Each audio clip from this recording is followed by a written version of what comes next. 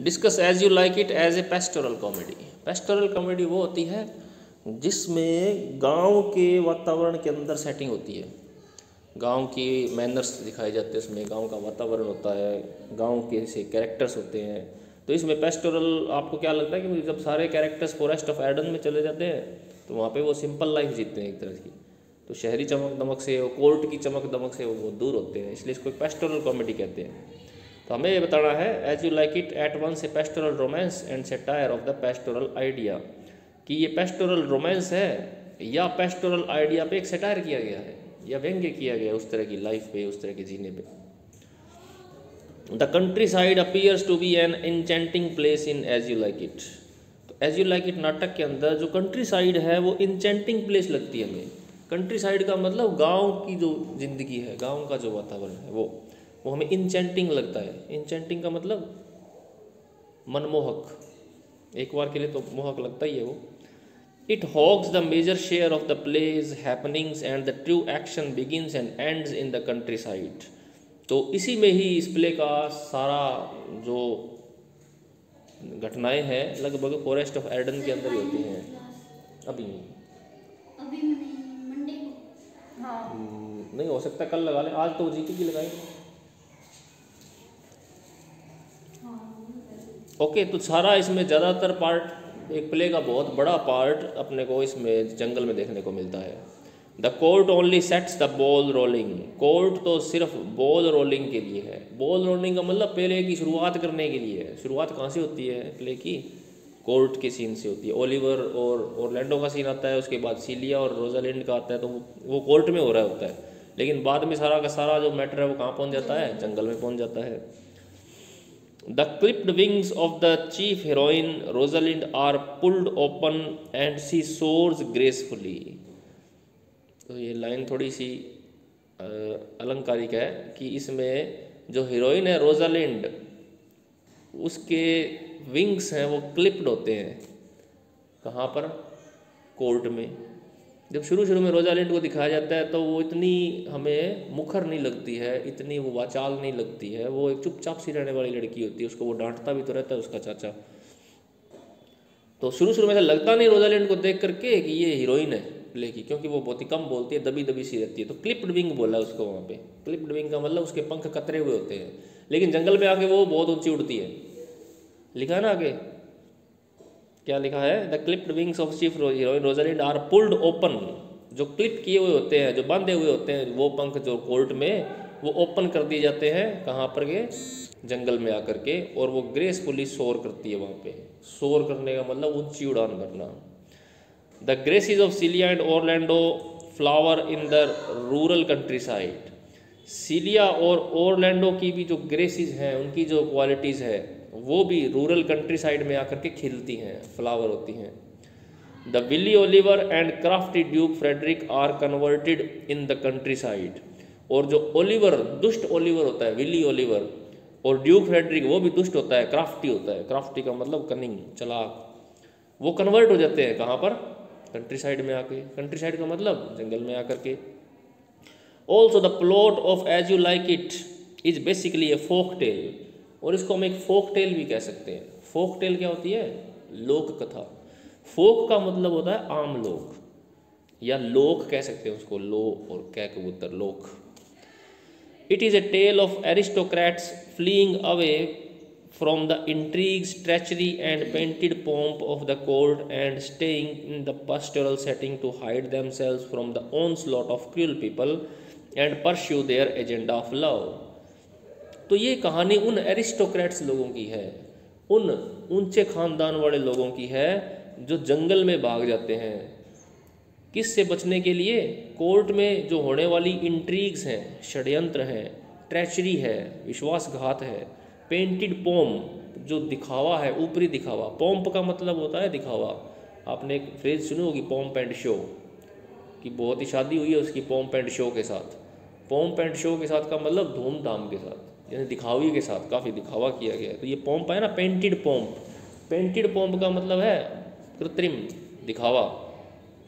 Court का and staying in the pastoral setting और pastoral setting में वो रहना चाहते हैं to hide themselves from the onslaught of cruel people ताकि वो दुष्ट लोगों से अपने आप को बचा सकें and pursue agenda of love और अपने लव के एजेंडा को पूरा कर सकें, अपने प्यार को पा सकें। यानी जो जो कैरेक्टर्स जंगल में आए हैं वो किस किस से बचने के लिए आए हैं? एक तो जहाँ वो षड्यंत्र हो रहे हैं उनके खिलाफ उनके खिलाफ साजिशें रची जा रही हैं, धोखेबाजी हो रही है, उससे बचने के लिए आए हैं। और दूसरा, यहाँ पे आकर के अपने प्यार को पाना चाहते हैं। जैसे ओरलैंडो आ गया, उसको रोजालैंड मिल गई, सीलिया को, सब, सभी को प्यार तो वहीं मिला, फॉरेस्ट ऑफ़ एडन के अंदर ही। Like shepherd and shepherdess they pipe the love songs hangs the verses on love court and woo and spend the time idly तो शेफर्ड और शेफर्डेस की तरह यानी जो चरवाहे हैं और शेफर्डेस उनकी जो प्रेमिकाएँ हैं, वो उन्हीं की तरह लव सॉन्ग को पाइप करते हैं। पाइप करने का मतलब गाते हैं। Hang the verses on love और अपनी कविताएँ टांग देते हैं पेड़ों पे।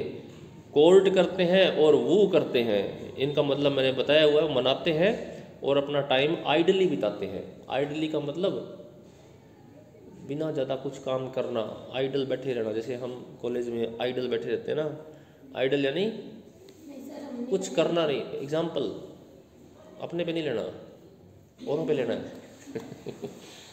यानी हम आइडल आइडल बैठे हैं, कुछ नहीं कर रहे हैं, बातें कर रहे हैं, बस और कोई कुछ काम नहीं कर रहे हैं। तो यहाँ पे ये भी बताया है कि जो गाँव के जो लोग होते हैं ना, गाँव के लोगों की खासियत ये होती है कि उनके पास इंजॉय करने के लिए टाइम बहुत होता है। है ना, वो गाते हैं, खुश रहते हैं, खाते पीते हैं और लाइजर जीवन जीते हैं। शहर वालों को टाइम ही नहीं होता, है ना? तो ये बताया गया इसमें कि इस तरह से वो पेस्टोरल लाइफ तो दिखाई गई है एज यू लाइक इट के अंदर। उनके पास काम क्या है? घूम फिर लिए, खा पी लिए, गाने गा लिए और आइडल बैठ लिए। आइडली अपना टाइम बिता दिया। Shakespeare's forest of Eden however is not truly pastoral in the sense लेकिन शेक्सपियर का जो ये जंगल है एडन का, ये ट्रूली पेस्टोरल नहीं है। रियल में पेस्टोरल नहीं है। पेस्टोरल का मतलब आप समझ रहे हो ना, गाँव की ज़िंदगी जो शो करता है। That there is no permanent spring यहाँ पे परमानेंट स्प्रिंग नहीं है। परमानेंट स्प्रिंग का मतलब हमेशा बसंत ऋतु नहीं रहती है। ज़्यादातर पेस्टोरल से हमें ये उम्मीद होती है कि हमेशा वातावरण बहुत अच्छा रहता होगा वहाँ।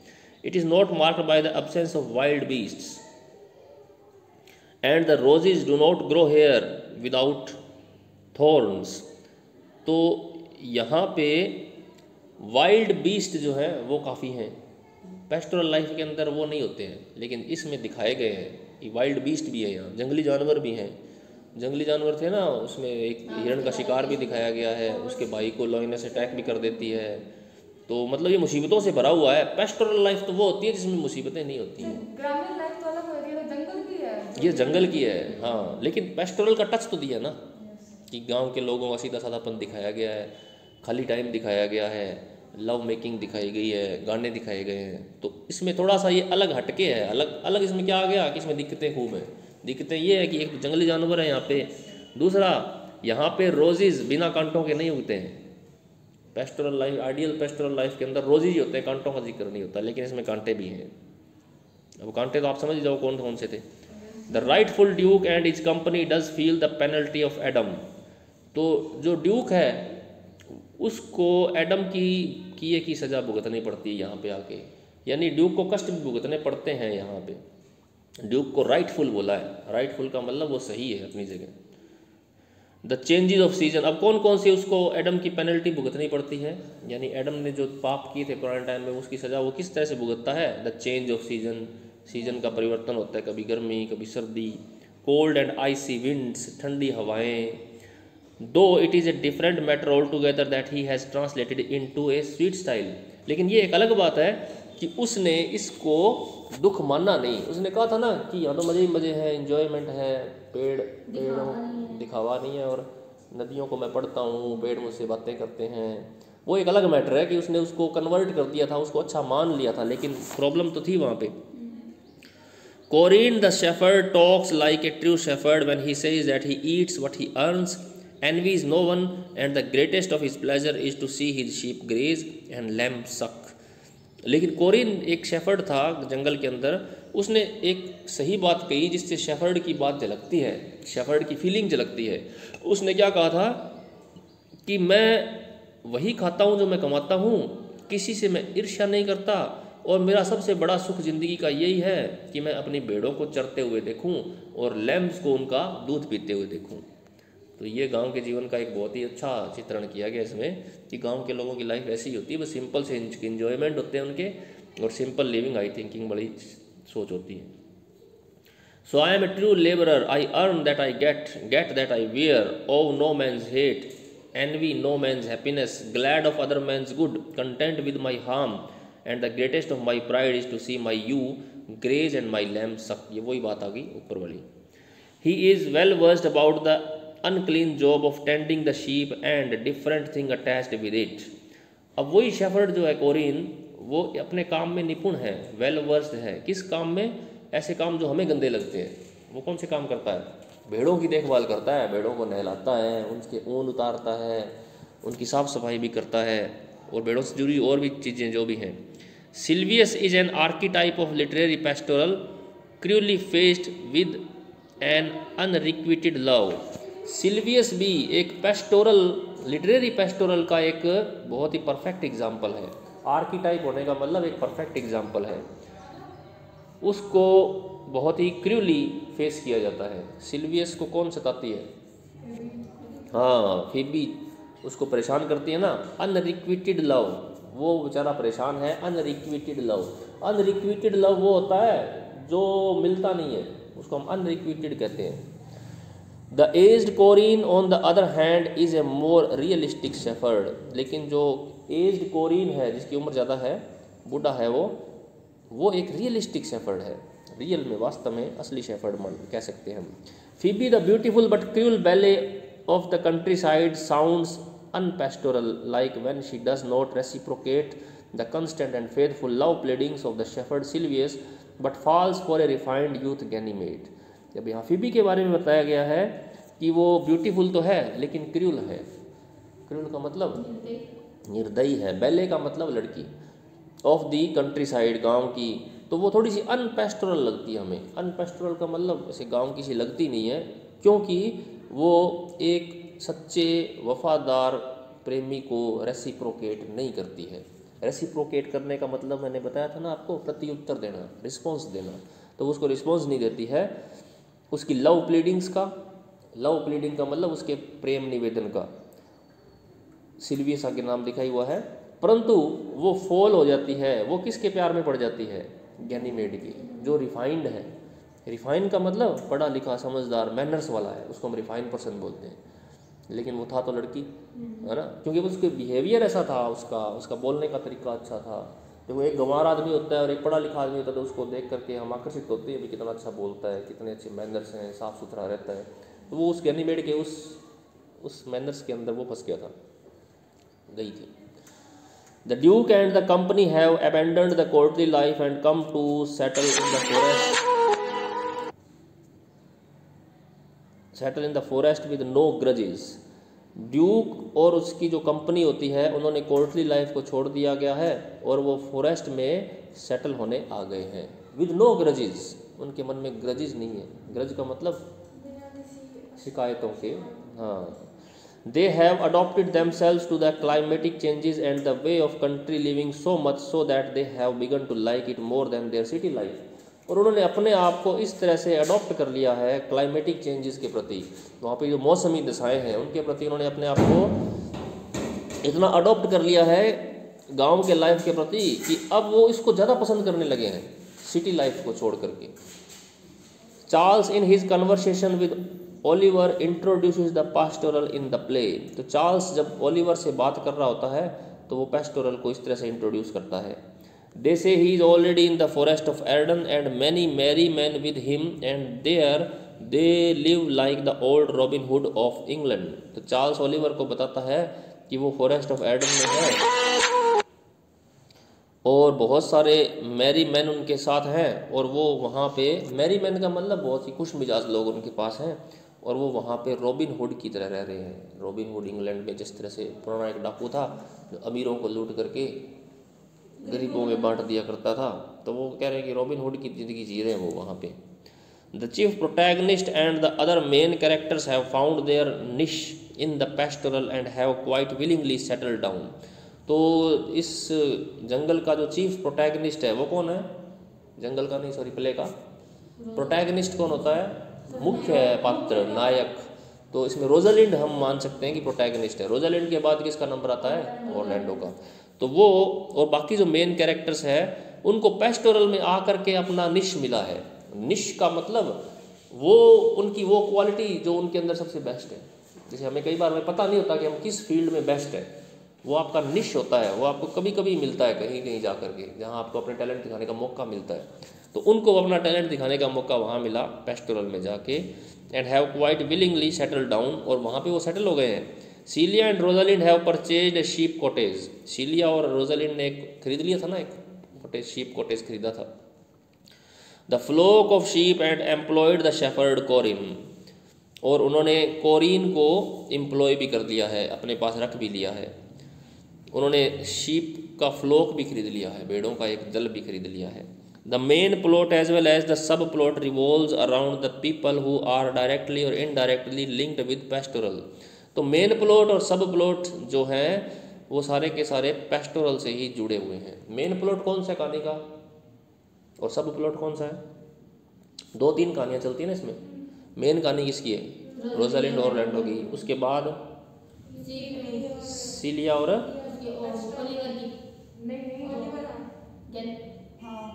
भूल गए जोड़ियाँ क्या सीलिया टचस्टोन नहीं? सीनियर ओलिवर हाँ टचस्टोन ऑड्रे हाँ ये ये सब प्लॉट है। इनको सब प्लॉट कहा जाता है। मेन तो कहानी ओला ओल सॉरी रोजालिंड और ऑरलैंडो की है। सीलिया एंड रोलाजिन ये तो पढ़ दिया हमने। The main plot as well as sub plot revolve around the people who are directly and directly linked with the pastoral even the professional clown touchstone has courted a simple country girl Audrey and wed her touchstone ने भी, जो कि एक professional clown था, जो court में रहने वाला एक बहुत ही विद्वान आदमी था, उसने किसको, किससे शादी कर ली? एक बहुत ही सिंपल सी लड़की से, जिसका नाम ऑड्रे था। Oliver the witty and a material wretch turns over a new leaf and settles down in the forest and adopts the country life for ever Oliver जो शुरू में बहुत ही विली था, बहुत ही दुष्ट था, और एक बहुत ही धन लोलूप आदमी था मटेरियल रच होता है वो आदमी जो हमेशा धन दौलत के पीछे भूखा रहता है।